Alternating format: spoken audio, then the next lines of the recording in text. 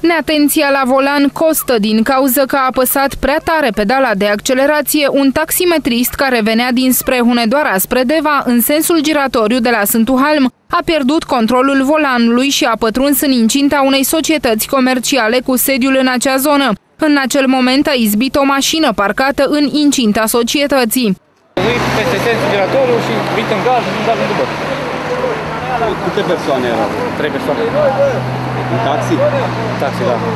Și la impact două răsut afară. Răsut afară și una era în dreapta. În acest caz vorbim despre un eveniment uh, rutier uh, produs din cauza neadaptării vitezei la condițiile de drum, viteza excesivă mai exact uh, în zona unui sen giratoriu la intrarea în municipiul Deva pe drumul național 7.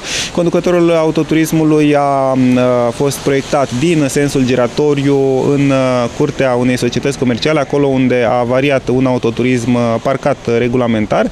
În urma impactului a rezultat rănirea ușoară atât a conducătorului autoturismului, dar și a doi pasageri, un bărbat și o femeie aflați în autoturismul implicat în evenimentul rutier.